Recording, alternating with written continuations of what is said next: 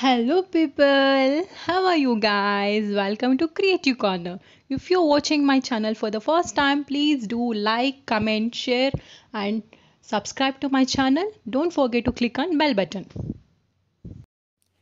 Today, I'll be showing you another baby photo shoot with the unique theme. I have named it as a cage photo shoot. Okay, let's start. Here we need some basic props which are usually available at home like decor items and cloths. And mainly we need a bird cage which is the center of attraction. To begin with, I am using two-seater sofa for this theme. You can choose which space is convenient for you. Now I'll start doing the theme by spreading white sheet for the background. Then for back screen, I'm using the sari and white colored net. Tie the sari with foam hook on the wall. Also, now tie the white colored net in between the sari by using some rubber bands. Then I'll spread the net and sari in triangle shape as you can see. I'll start decorating the theme now placing the cage on one side of sofa and decorated with some leaves hanging on it. Slowly placing some flowers, fruits and leaves spread over the sofa. To finish with, I'm also placing a big flower on the screen to cover the rubber bands.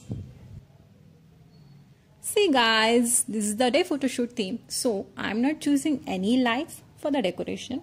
If you're planning for the night theme, you can select some colorful lights and glittery objects. You know, it adds more beauty to your theme.